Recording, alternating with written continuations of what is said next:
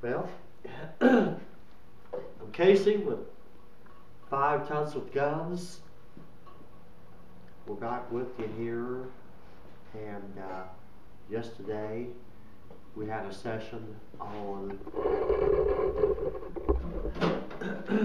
the bullet.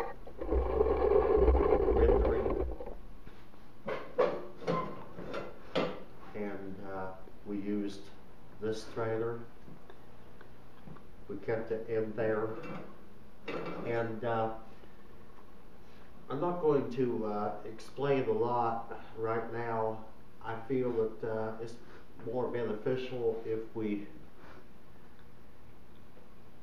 just get on with it. We're going to fire up and get gear with this.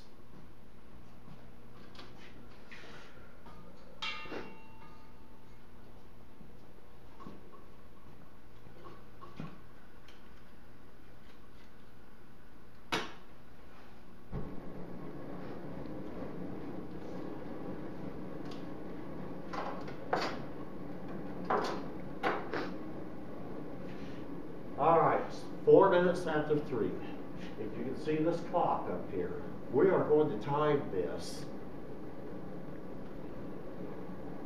And yesterday, we started off with 77 pounds of lead.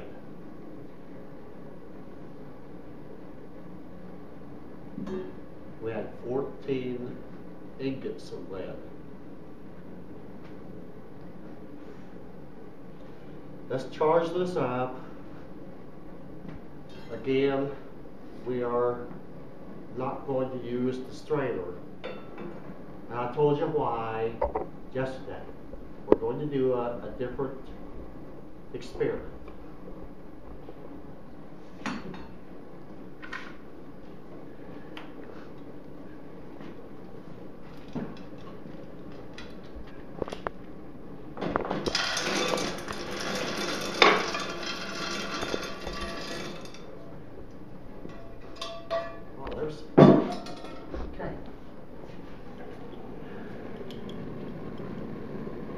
And we are going to time this again. It's five after three. We're in gear.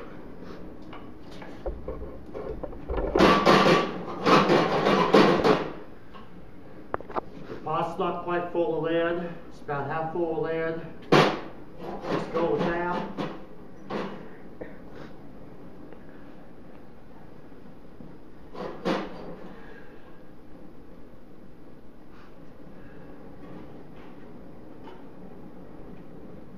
Put our lid back on here.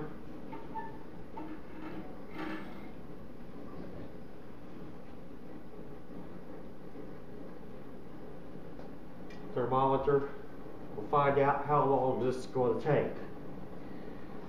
I want to uh, reiterate what we did yesterday. yesterday. We did the internal strainer, which you heat up. Our thinking was pull the bullet jackets up, rake them around,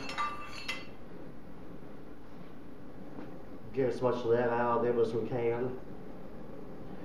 That worked really well. But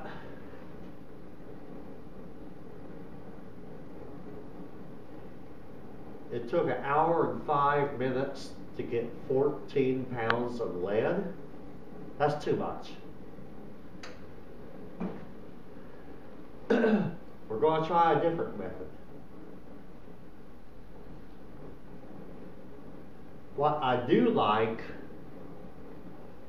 about this pot is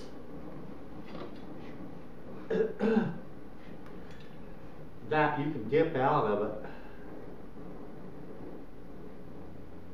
a lot more for a longer period of time than I could have with the Dutch oven, which is three and a half inches deep. and the little dipping pot.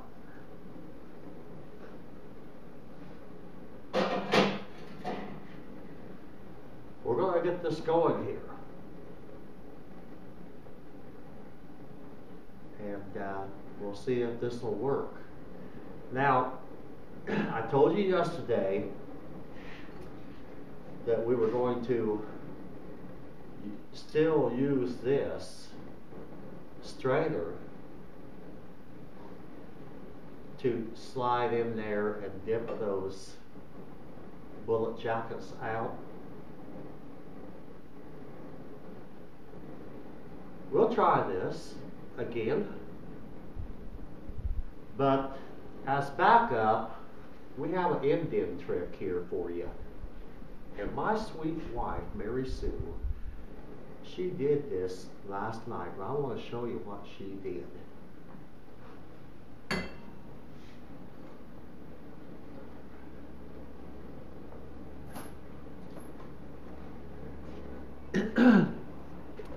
took another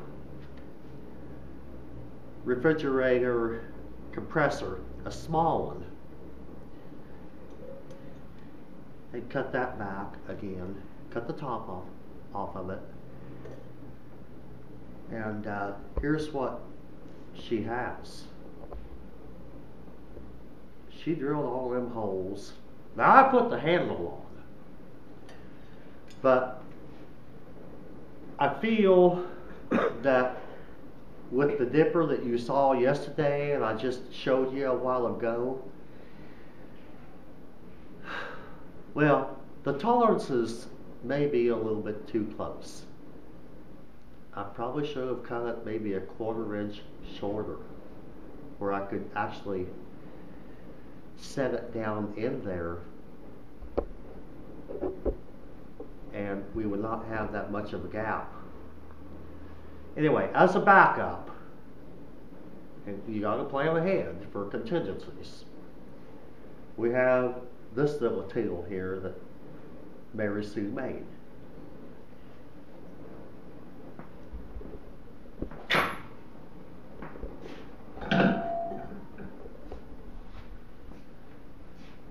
All right, well, we started about five three. If you can see this clock up here. And we're going to uh, not waste your time on watching lead melt. And we, we get up to our melt. You're going to see what uh, how we do with this strainer ladle.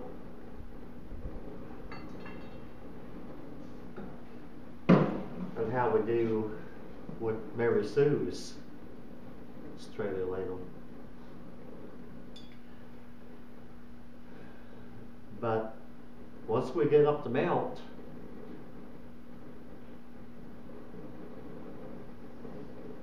we're gonna run hot and hard on this until all of that seventy-seven pounds of range pickup bullets are rendered.